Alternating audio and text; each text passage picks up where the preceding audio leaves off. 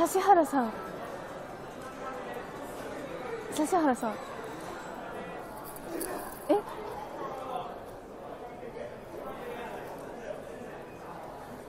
指原さん。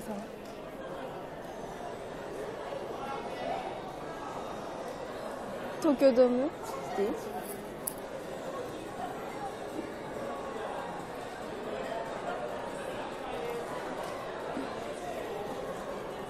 東京ドームシティホール。指原さん。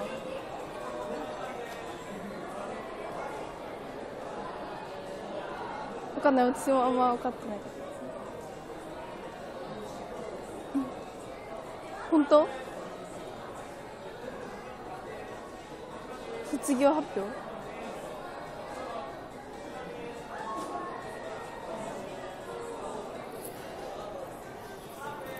っていうの今情報を仕入れた。本当 ?4 月28日横浜スタジアムさっき今さっき今さっき言った。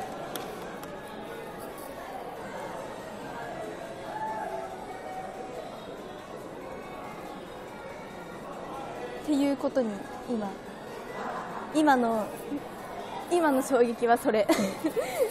指原さんの卒業。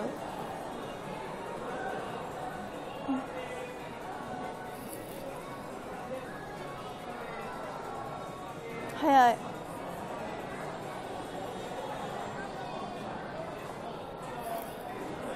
そう。今ピコーンって出てきた。数値が。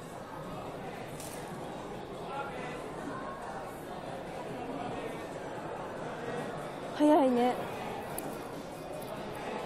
今12月だからあと4ヶ月約。5月？28日。卒業コンサートと感謝祭？もうなんか全然想像がついていない。